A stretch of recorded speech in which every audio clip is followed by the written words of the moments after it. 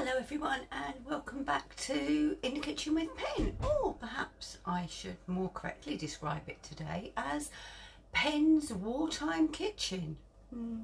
Well it does look a bit like a bomb's drop but the wartime bit is because we're going to both be having meals that would have been commonplace during the war, the whole recipe. And we are starting with something I have never ever cooked nor eaten. It was one of the few things when I was a kid my mum would let me get away without eating and that is heart. Okay, now I'll eat liver, I'll eat kidney. I just, I just can't, but heart is something that Steve used to have as a kid and he enjoyed it. So today I'm going to be cooking it. It won't be like his mum's. I'm not naive enough to think it's going to be like his mum's because I doubt she'd have used this recipe. But hopefully the texture will be similar and fingers crossed he likes it.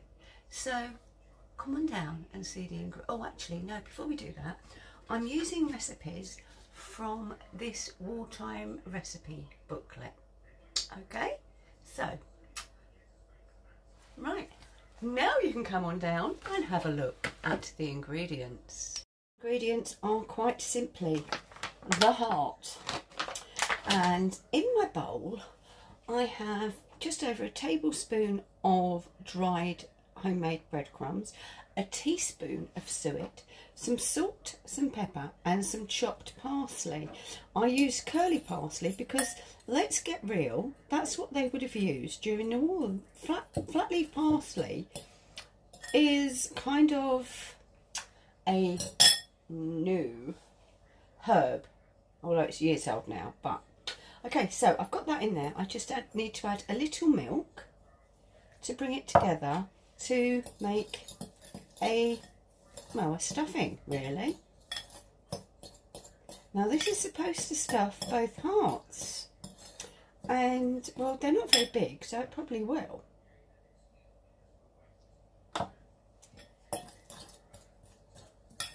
Right, so that's softened that up. Yeah, can you see? Okay, now we move on to the offal. That sounds better. I can't keep saying that word. Right, Steve's doing this bit because I just can't bring myself to do it. He's cutting. This is fresh. Yeah, of course it's fresh. It's oh. still pumping your cheek. Oh, things I have to put up with. He's cutting out the dividing walls so that we've got somewhere to stuff.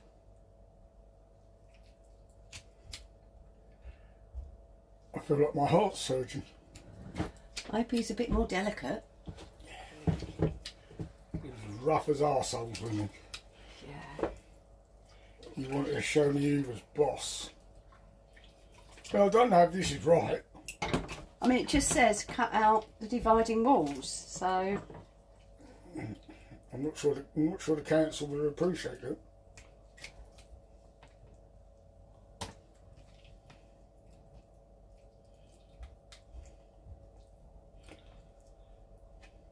Okay.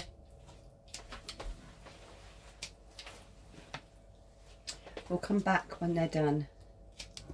Steve has done that for me and as you can see we've now got somewhere to actually place our stuffing. So I need to get on with that.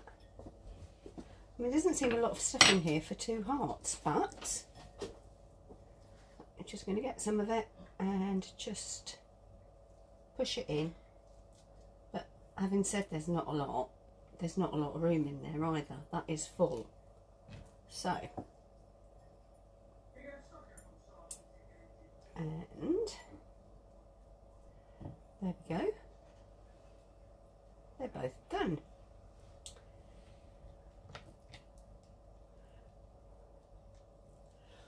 Right there you go. I'll clear up and we'll get on with the next step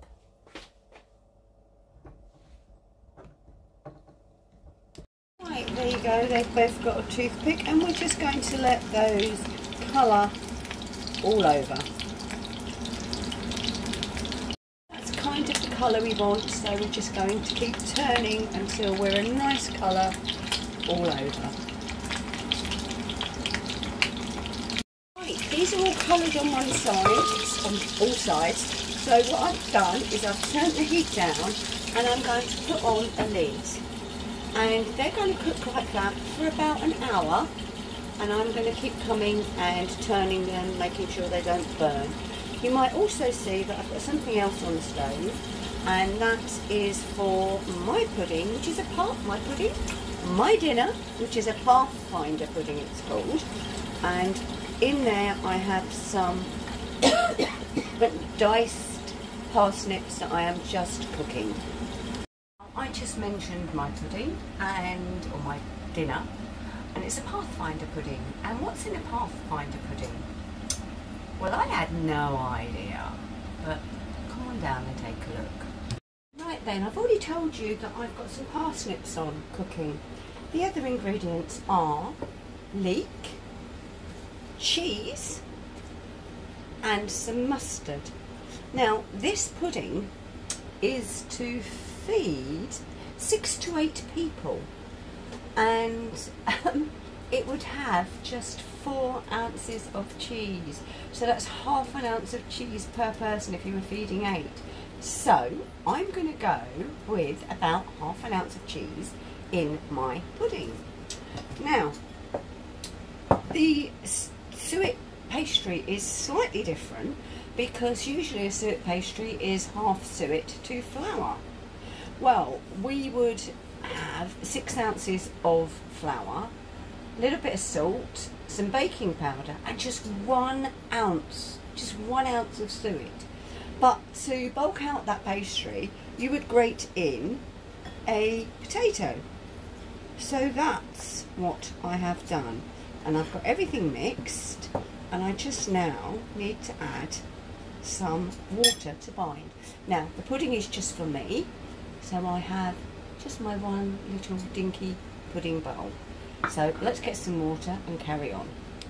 I'm going to use the end of a spoon and I'm just going to add in some water and mix until we've got something that has come together and hopefully resembles a pastry.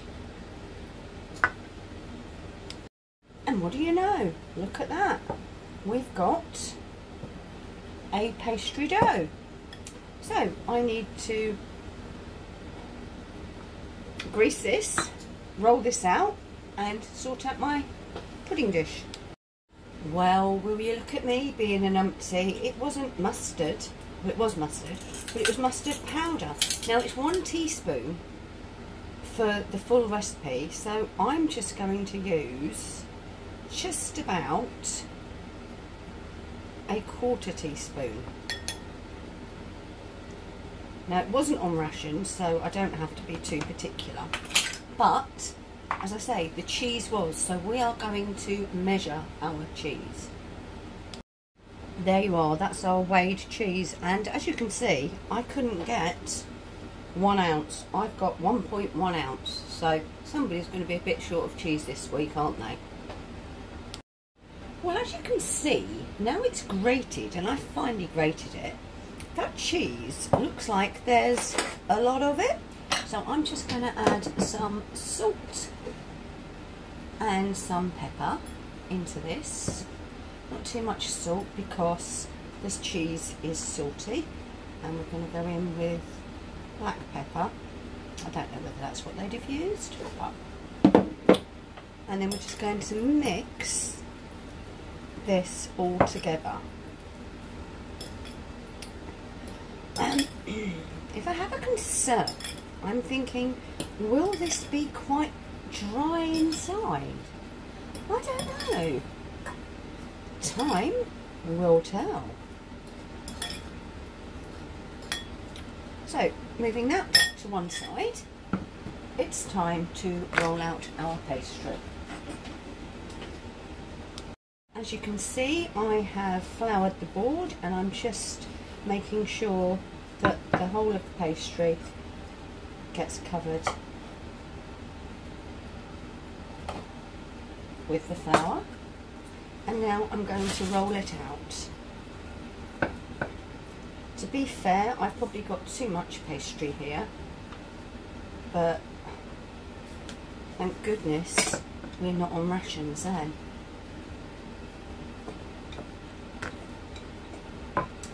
I need to roll it big enough so that it fills my pudding basin. And I'm pretty sure that will do it. So lift up your pastry. Oh no, let's do it again. So I didn't have enough flour there.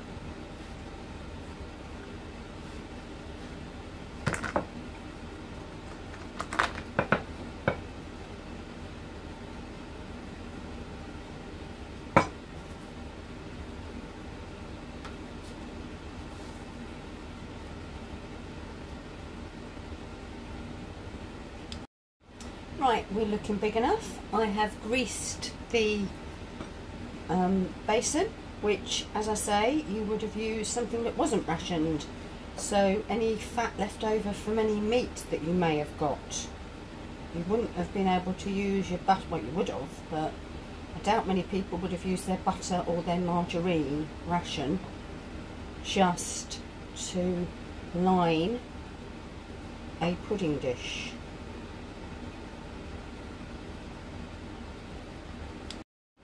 Our basin is lined.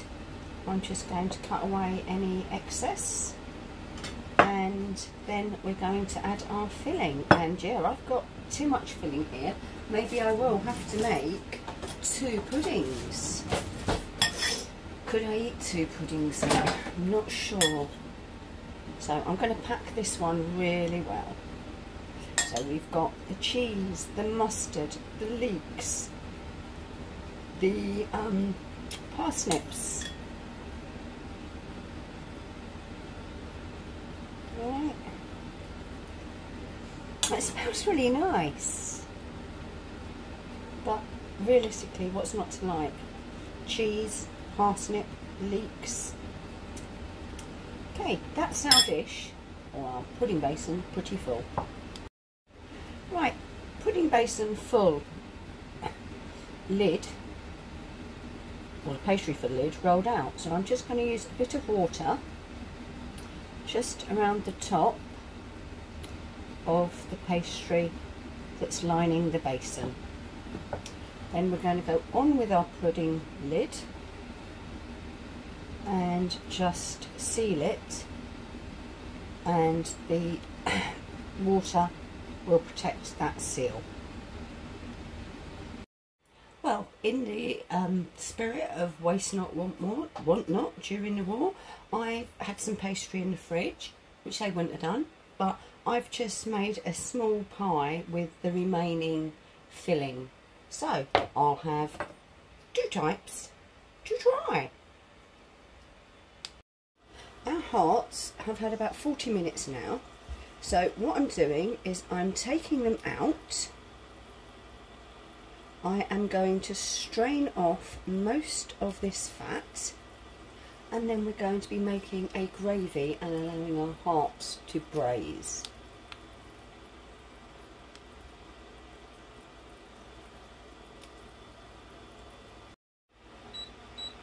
We've upped the temperature and we're going to sprinkle over a spoonful of flour and this will make a roux Okay, what we want to do is to mix the flour in with the fat and we need to let it cook for a little while. So once this is cooked, we'll be back. That's had a minute or so, so I'm just going to add in gradually some water to make a braising gravy.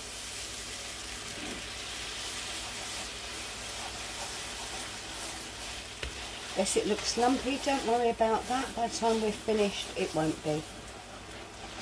We just keep adding water and stirring.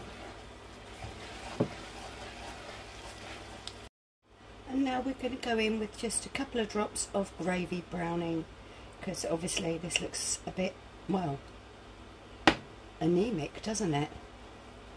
There you go, a couple of drops of gravy browning and we are done. So, the heart is going back in. The lid will go on.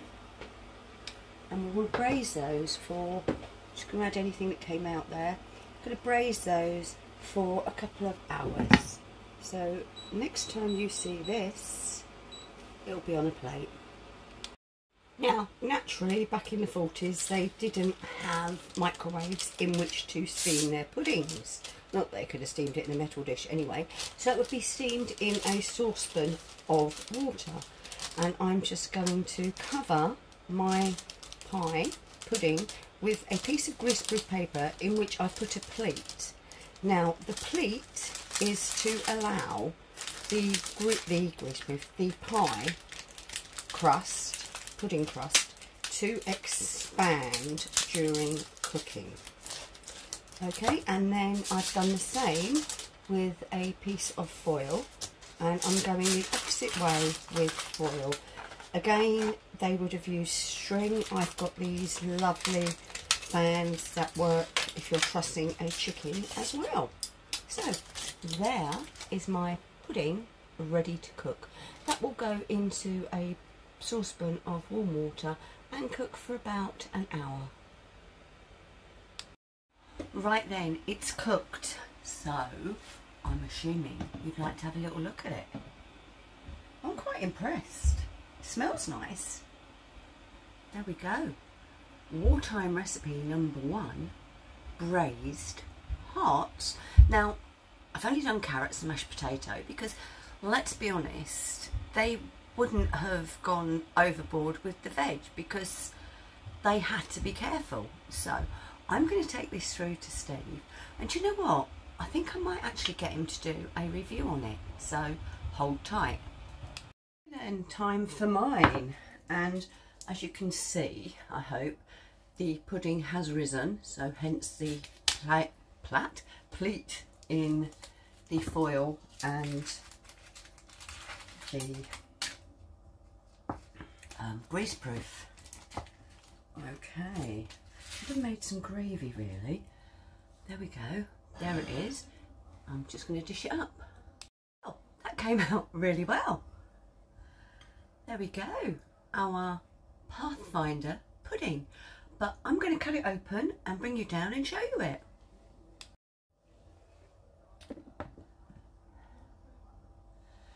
Here we go.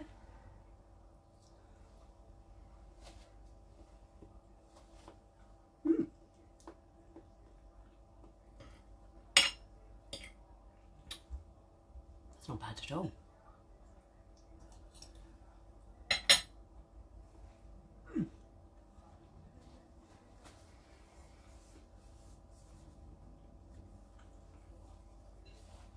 Would I have liked some gravy with it? Yeah.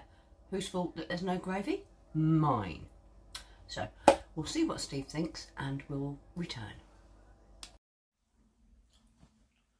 Right, here is the result of the um, jury from the United Kingdom. Not for me. I am so disappointed. I, this is something I used to have as a kid, but it's a texture thing. It's so soft and chewy, and now I can't stop thinking about what it is. I love liver. I generally do love liver. It's got a strong taste to it. it tastes a little bit like leather. Uh, leather? um, but no, it's not for me. So I do appreciate Penn's efforts. She cooked it for the first time. It's what we would have eaten in the, as kids. It's what our parents would have eaten during the war. But my tastes have changed so much that um, nah, it's not for me. So I'm going to eat my potato. I'm going to drink my gravy. might even eat the carrots. But for me, not for me. But I certainly would encourage you to give it a go. It wasn't expensive, but it's taken two hours to cook. That's where the money's gone. So, I'm afraid not, but thank you for watching me uh, try it. But I won't be trying it again. Keep cooking. Okay, it is kind of the verdict I was expecting, and that's basically the main reason I just couldn't bring myself to eat the um, heart either. I'm going to get on with my Pathfinder pudding, which I'm enjoying. I'm not even sure that Steve would like that because it's parsnips and in a pastry and he's like Ugh. anyway thank you for watching this edition of in the kitchen with penn i know it's been a long one but hopefully it's been quite informative and we'll see you again very soon bye bye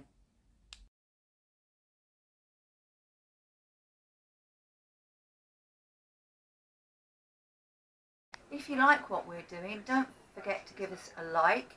If you'd like to subscribe, click on our picture here. If you want to see more videos of what we get up to, click here.